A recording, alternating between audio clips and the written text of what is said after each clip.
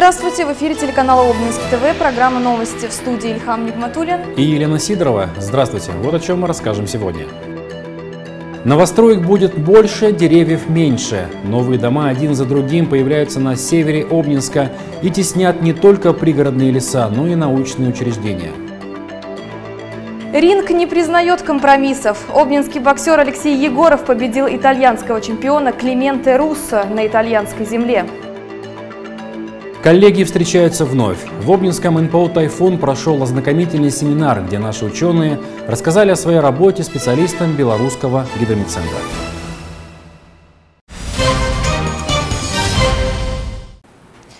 Специалисты Росгидромета и их белорусские коллеги всегда работали в тесном сотрудничестве. Есть программа Комитета союзного государства по гидрометеорологии и мониторингу загрязнения природной среды. Выполнен целый ряд проектов для сельского хозяйства, экологической безопасности, оборонного комплекса. Дальнейшие шаги в развитии этой работы сегодня обсуждали в Обнинском научно-производственном объединении «Тайфун», где прошел экспертно-медийный семинар.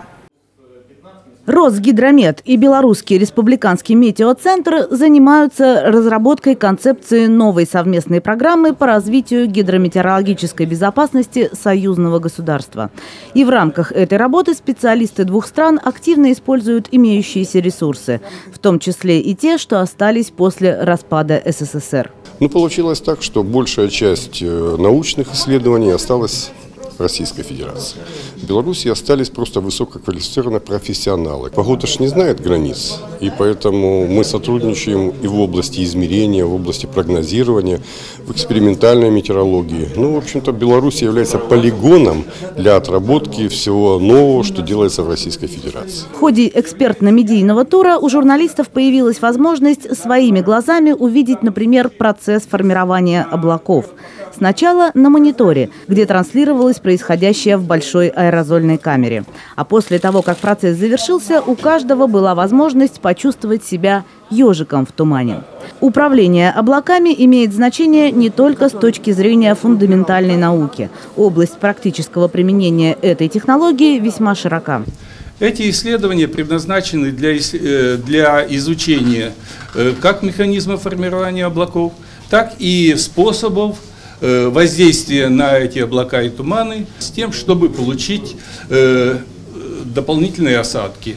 Дождь, э, так сказать, или рассеять облако, облако например, для ну, увеличения видимости на аэродромах и дорогах. А эта камера тоже производит облака, но уже совсем другие, кристаллические.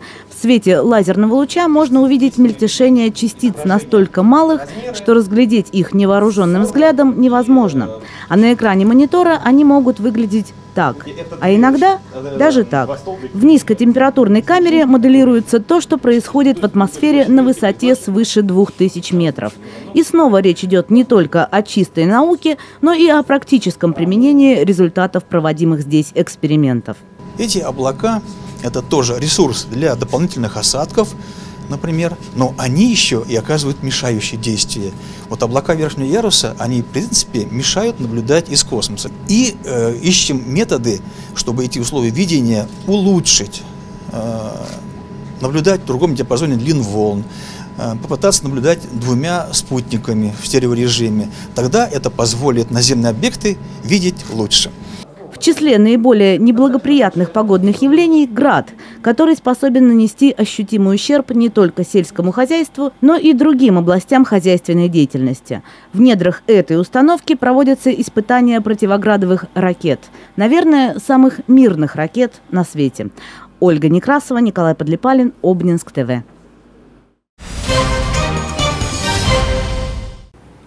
Проредить и застроить. Такая перспектива ждет лес на северной окраине Обнинска, там, где уже стоят первые дома микрорайона Зайцева.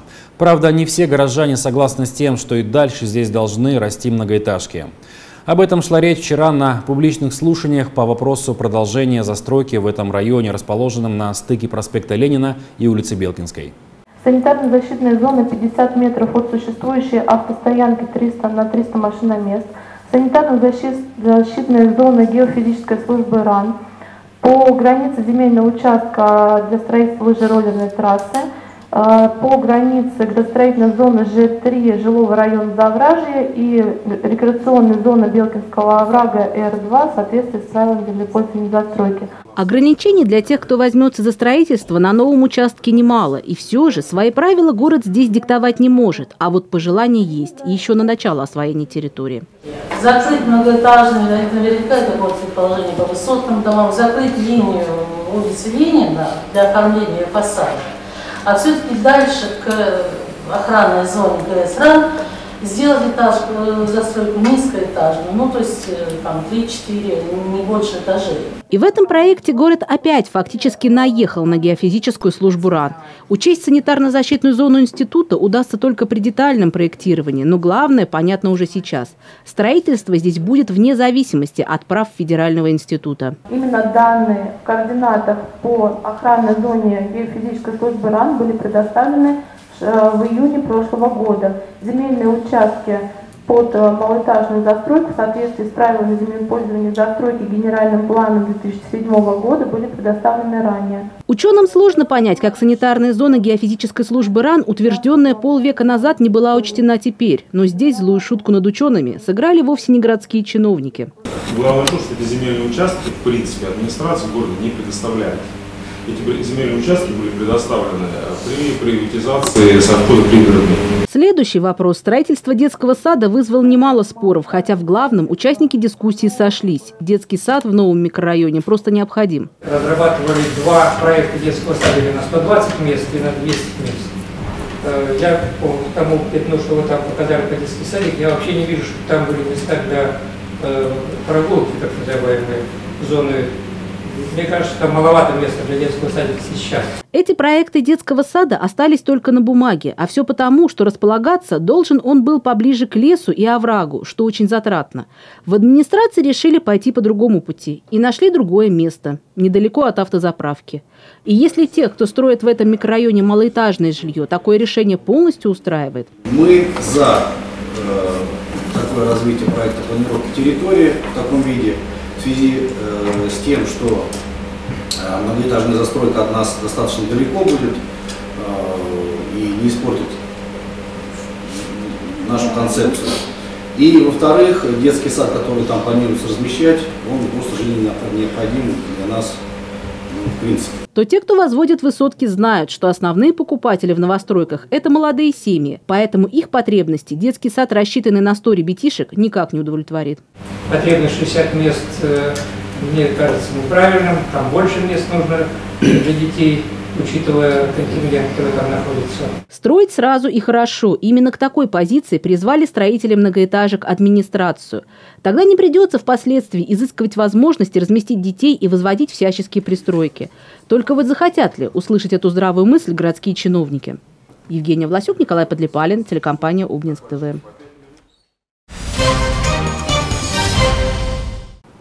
Специалистами Калужского областного управления Россельхознадзора в результате проверки, проведенной в Боровской районной больнице, было обнаружено, что пациентов здесь кормили блюдами, приготовленными из опасной для здоровья кукурузной крупы.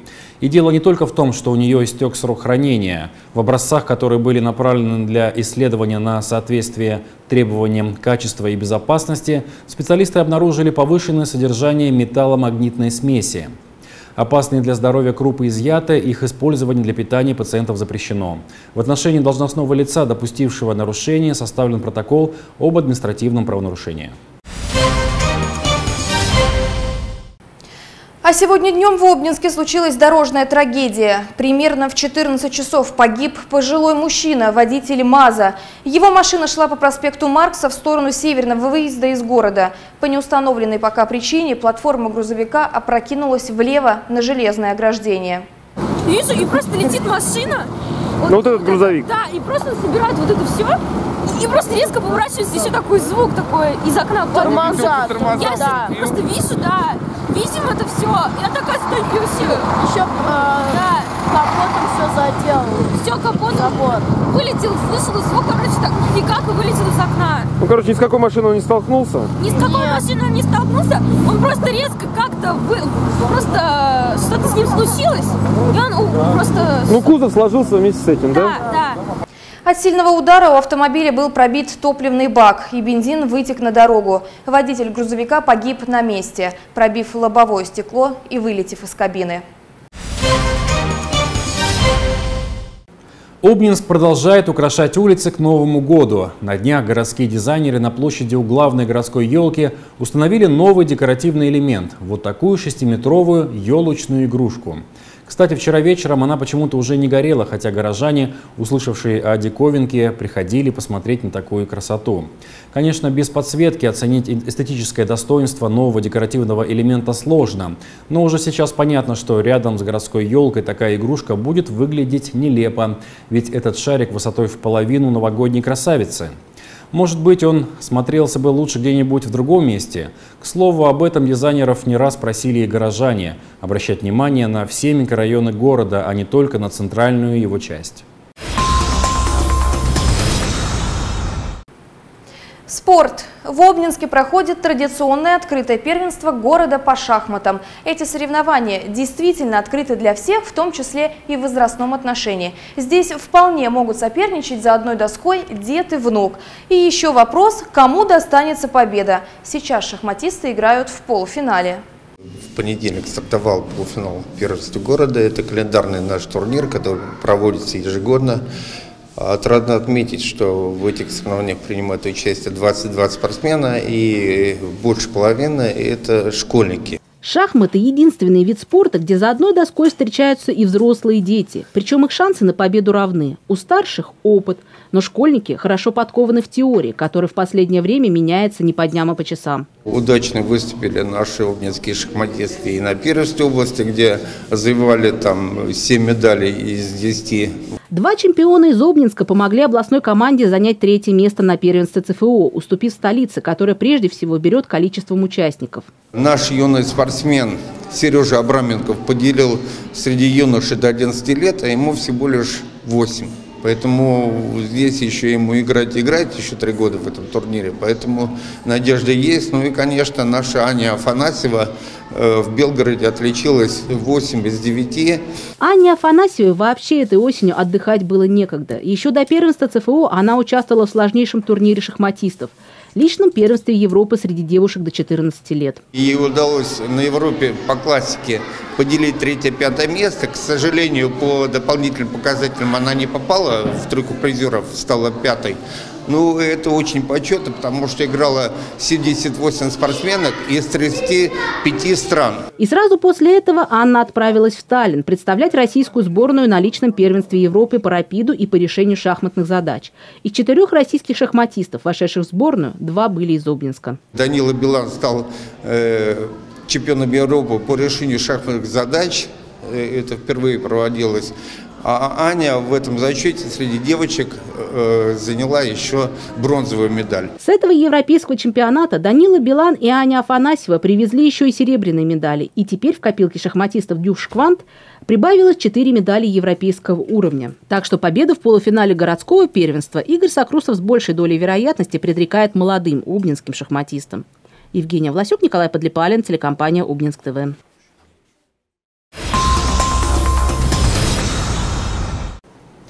Молодой обнинский боксер Алексей Егоров завоевывает новые победы. На престижном турнире Международной Федерации бокса, который проходил в итальянской столице и в городе Бергамо, наш спортсмен провел два поединка и оба выиграл.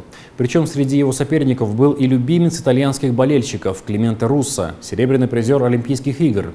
О том, как досталась победа в этих боях и что впереди, Алексея Егорова расспрашивал наш спортивный обозреватель Николай Хнычков.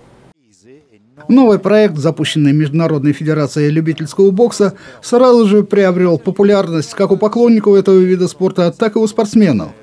На кону путевка на Олимпиаду. По итогам рейтинга 2013 года в АИБа были определены по 8 сильнейших боксеров мира в каждой весовой категории, которые по результатам турнира из четырех боев выявят обладателя заветного приза.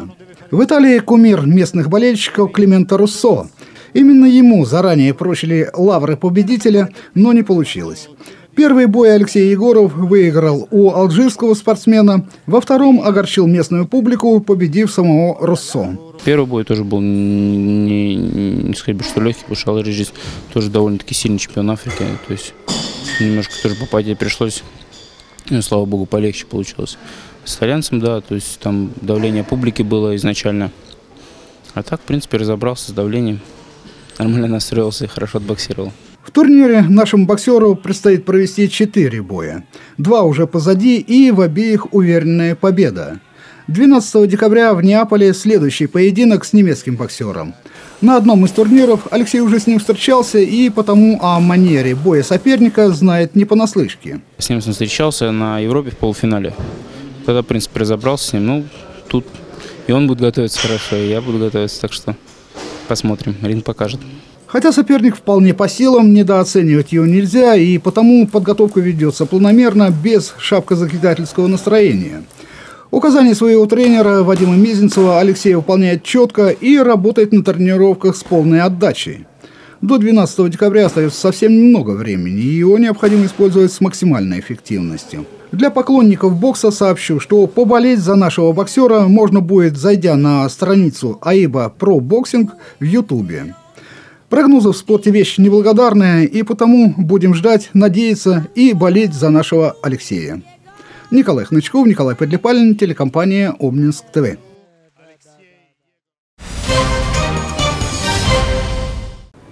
Сегодня это все. До встречи завтра. Следите за новостями вместе с нами. До свидания.